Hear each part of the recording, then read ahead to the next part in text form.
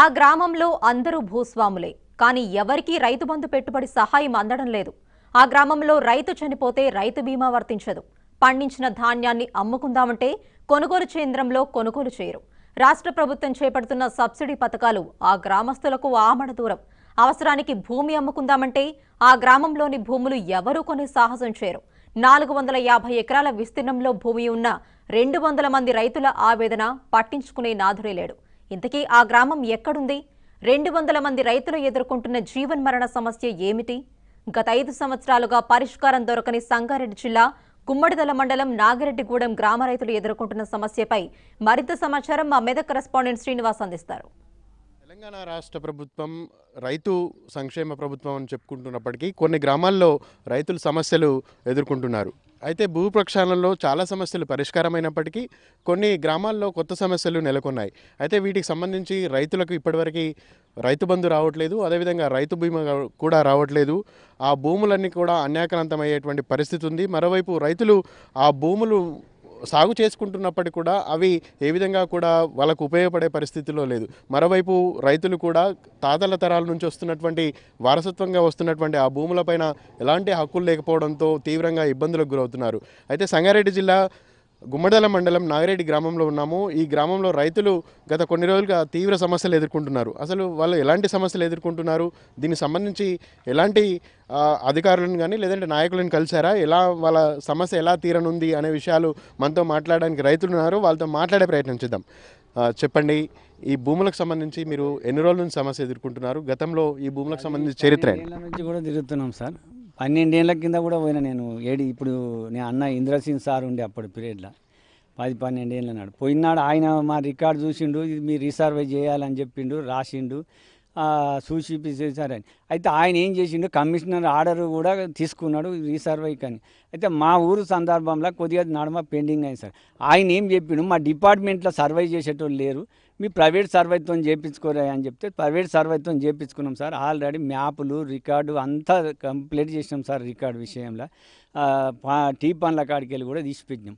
అయితే కమిషనర్ ఆఫీసుకు తిరుగుతుంటే ఇప్పుడున్న కమిషనర్ ఒప్పుకోలేకపోయింది సార్. ఒప్పుకోలేకపోకుండా పెండింగ్ పెట్టిరు అంత కంప్లీట్ ఉన్నది సార్.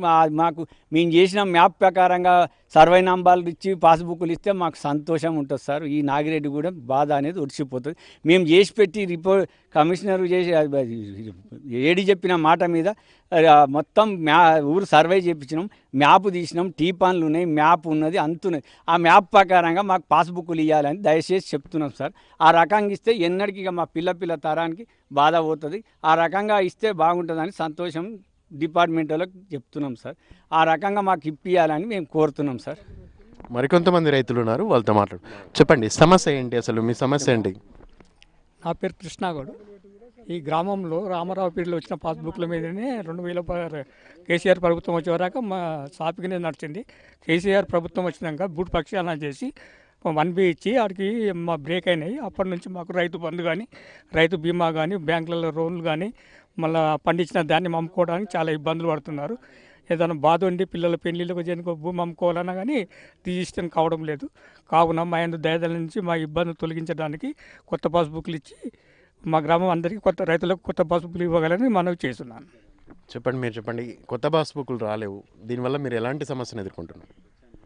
అదే మాకు ఇప్పుడు మాకు పాస్బుక్లు రాలేవు మేమేమన్నా పండించిన పంట కానీ అమ్ముకోనీకి అవకాశాలు లేవు. మాకు కొత్త పాస్బుక్ వస్తేనే మేము పండించిన ధాన్యాన్ని కొంటామంటారు. మాకు పూర్వం సంది వారసత్వంగా వచ్చిన భూములు మాయి. అందుకోసము మా మాకు పట్టా పాస్బుక్లు ఇవ్వాలని మేము దయచేసి గవర్నమెంట్ను కోరుచున్నాం ఎంఆర్ఓ గారికి దగ్గరకు వస్తే మాత్రం కింది స్థాయి రెవెన్యూ సిబ్బంది మాత్రం మాకు సహకరించడం లేదు ఈ విలేజ్కి. ఇక్కడ కేసీఆర్ ప్రభుత్వం ఏదైతే ప్రతిష్టాత్మకంగా చేపట్టిందో రైతులు బాగుపడాలి అప్పుల పాలు కావద్దని చనిపోతే ఒక ఐదు లక్షలు బీమా ఇవ్వాలని కానీ అలాంటిది ఏ ఒక్క పథకము మాకు చెందడం లేదు ఒక సబ్సిడీ లేదు ఒక డ్రిప్ పరికరాలకు సబ్సిడీ పెట్టుకుందామన్న కొత్త పాస్బుక్లు లేవు మాకు ఏది ఇవ్వడం లేదు. ఒక రైతు ఒక ట్రాక్టర్ తెచ్చుకుందామంటే ఒక వన్ బి వెళ్ళడం లేదు. ఒక పండించిన పంటను గవర్నమెంట్కి అమ్ముదామంటే కొత్త పాస్బుక్ లేక తీసుకోవడం లేదు. మేము పండించి మేము రైతులం పండించి ఎవరో పక్క ఊరి రెవెన్యూ వాళ్ళ పాస్బుక్ల మీద అమ్ముకోవాల్సిన దుస్థితి మాకు నెలకొంది. అంటే ఈ విధంగా రైతులు ఒక రైతు బిడ్డ పెళ్ళి చేయాలన్నా ఏదన్నా అమ్ముకొని ఏదైనా బిజినెస్ చేసుకోవాలన్నా ఇక్కడ వ్యవసాయం చేయలేక కానీ ఏ ఒక్కరికి అందడం లేదు ఫలాలు. దయచేసి ఇది కలెక్టర్ గారు చొరవ తీసుకొని ఆర్డీఓ గారిని పంపిస్తారా ఎంఆర్ఓ గారిని పంపిస్తారా మా విలేజ్లో గ్రామసభ పెట్టి ఒకసారి క్లియర్ చేసుకో చేయాలని కోరుతున్నాము. ఈ విధంగా ఈ గ్రామంలో ఉన్నటువంటి దాదాపు రెండు వందల మంది రైతులు కూడా భూములు ఉన్నప్పటికీ కూడా వాటిని కనీసం సాగు చేసుకునే పద్ధతిలో దా ప్రక్రియలో కూడా వివిధ సబ్సిడీలు కానీ మిగతా ప్రభుత్వం అందిస్తున్నటువంటి పథకాలు కూడా అందనటువంటి పరిస్థితి. దీనికి ప్రధాన కారణం ఎప్పుడైతే భూ ప్రక్షాళనలో చేసినటువంటి ఇష్యూ చేసినటువంటి కొత్త పాస్బుక్లు రాకపోవడంతో వీళ్ళకి అందిస్తున్నటువంటి ప్రభుత్వం అందిస్తున్నటువంటి ఏ పథకాలు కూడా అందట్లేదు. మరోవైపు పండించినటువంటి ధాన్యాన్ని కూడా సరైన పద్ధతిలో అమ్ముకునేటువంటి పరిస్థితి లేదు. ధరలను ఆశ్రయించి తీవ్రంగా నష్టపోతున్నారు రైతులు. అయితే కేసీఆర్ ప్రభుత్వం తెలంగాణ రాష్ట్ర ప్రభుత్వం ఏదైతే ఉందో రైతుల ప్రక్షాళన ఎప్పుడు నిలుస్తున్నామని చెప్తున్నప్పటికీ కూడా ఈ రైతుల సమస్యలు పరిష్కారం అవుతలేదని ఈ రైతులు ఆవేదన వ్యక్తం చేస్తున్నటువంటి పరిస్థితి. జిల్లా అధికారులు కూడా దీనిపైన మినమేషాలు లెక్కబెడుతున్నారు సరైన సమాధానం దొరకట్లేదని ఆవేదన వ్యక్తం చేస్తున్నారు. ఇది ఇక్కడ ఉన్నటువంటి పరిస్థితి. కెమెరామెన్ సీనితో శ్రీనివాస్ మహా న్యూస్ మెదక్ జిల్లా.